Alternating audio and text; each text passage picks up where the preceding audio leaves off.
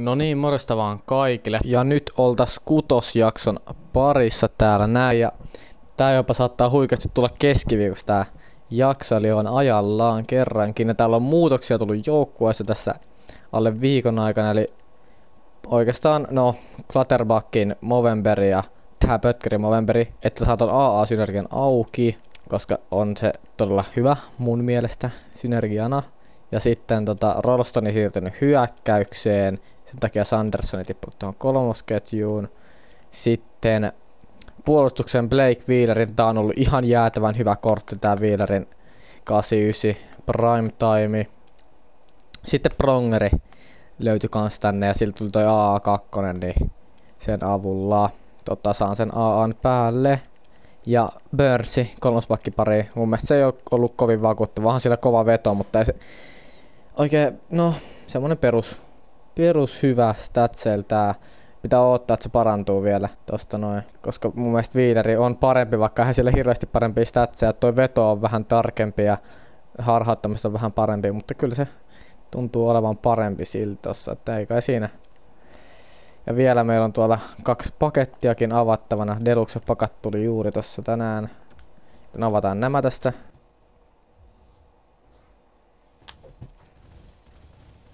Rakel kultakerrykortti.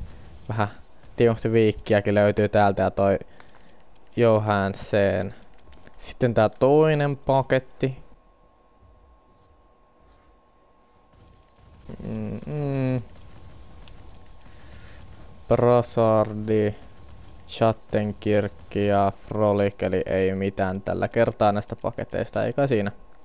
Joten, joten, mennäänpä jatkamaan tätä 8 divaria, ja jos tota tulee nopeita pelejä, niin sitten me pelataan tänään kyllä kolme peliä, mutta aloitetaan tästä ensimmäisellä ottelulla.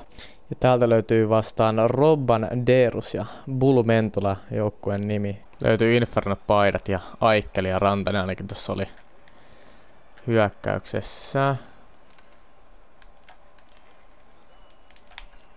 Ja siitä Salivani heti laittaa hutikiekosta. Ei kauan mennyt siinä. Ja siitä Lindenin laittaa, kyllä. No niin, siitä semmonen hassia. En tiedä mihin osu, mut meni kumminkin huti jotain kautta. Ja siitäkö Pasternakki? No kyllä. On siellä Pastarakilla vaan huikee veto. Ei sitä pääse yli. Ja börsi ei lata tällä kertaa sisään kumminkaan. Mutta Matthewskään ei laita. Mitäs Klatterbakki? No Klatterbakki laittaa. Tuo Klatterbackin korttikin on aika hyvä, kun sillä on 91 nopeus ja 90 taklaaminen, niin... Nättiä, nättiä. Tykkään. Ja tästäkö peruskuviot ja häkkii. Nyt ihan perus kumminkaan, mutta häkkiin kumminkaan ei mene siltikään, vaikka saa tommosen paikan. Joo.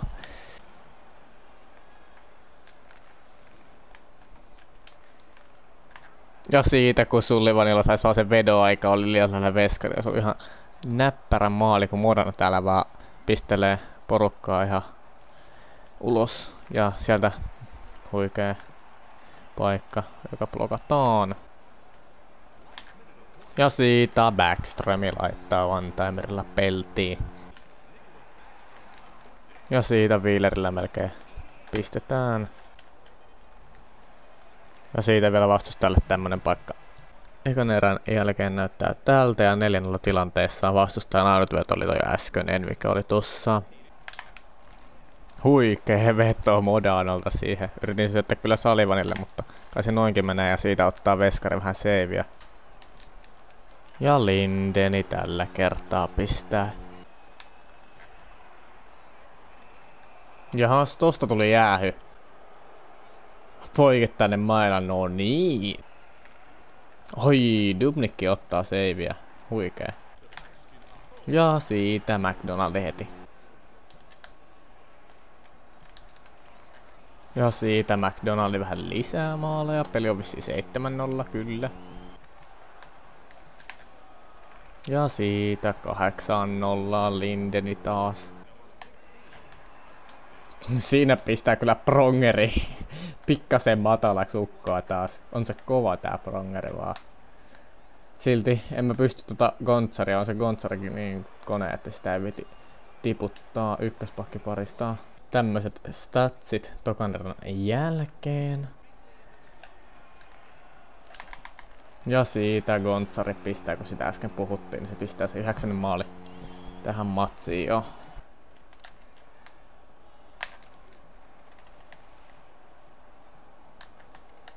Ja Hans vastustaja aloitti afkaamaan sitten tässä kohtaa peliä.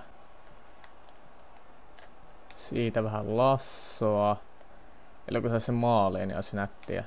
Mä saan asetella tätä pelaajaa kyllä, niin en usko, että saan tehtyä edes enää. No niin, ei mene maaliin. Ei mene maaliin taaskaan. No niin, tämmöisellä statsilla mentiin se peli ja vastustaja tosiaan lopetti tuossa puolessa olisi kolmatta erää, jossain siinä paikalla lopetti pelaamisen, että ei kai siinä. Mennäänpä sitten toiseen peliin. Täältä löytyy vastaan Riikster 86 ja HC Biusa. Luongo oli maalissa ja silloin Patsereti, McKinnon ja Pastarnakki ykkösketjussa semmoista. Ja me lähdetään tästä Lindenillä heti siihen Modanolle ja häkissään. Siinä ei taas kauan mennyt.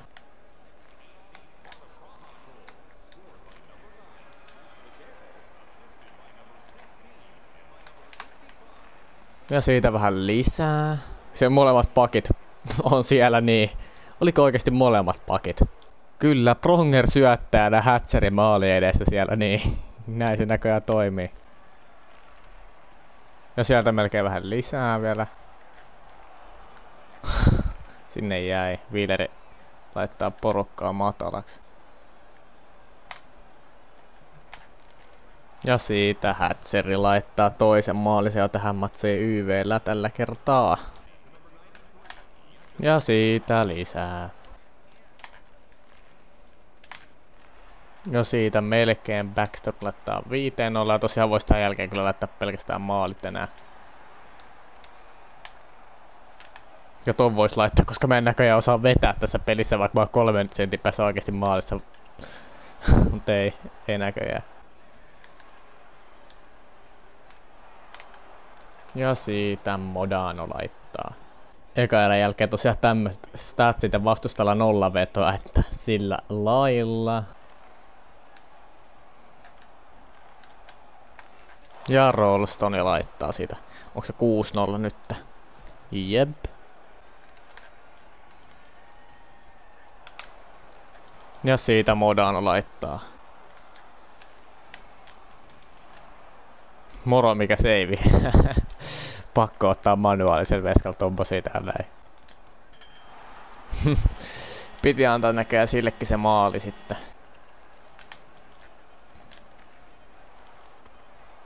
Tärkeä blokki vielä siihen. Tämmöstä tokan erän jälkeen. Ja siitä röölistäni.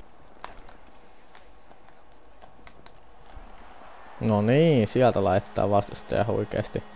82. Ei laita 80 pötkäri. Ei mennyt, rip. Vissi tolppaa jäi. Juu, semmonen peli tällä kertaa tämmösillä statsellä menti ja prongeri rennot 0 plus 5 ja 5 taklausta, että tota Juu, mo. Ja ö, tota, Rollstonille ja Modella molemmille hätrikki ja sitten Hatcheri teki kaksi maalia, eli kolme pelaajaa teki nämä kaikki kahdeksan maalia, että semmoista. Mutta mennään viimeiseen peliin tästä. No niin, nyt löytyy vastaan mega hulluja. Hags Gang on joukkueen nimi.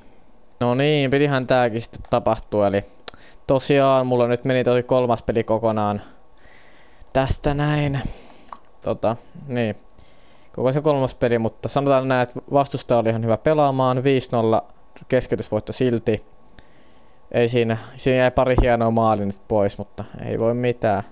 Tällä sitten on tällä kertaa. Mutta ei kai siinä, mennään avaamaan tää Divarin voittopaketti, kun nousti tosiaan 7 Divarin, eli 8 Divarin mestaruus paketti ja katsotaan mitä huikeita täältä saadaan.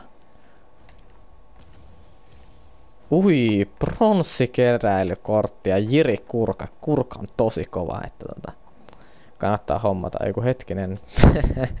Joo, no. Kiitos kaikille, jotka katto. Harmi, että toi viimeinen peli nyt meni tosta, mutta ei kai. Sille voi mitään. Ja se on moro.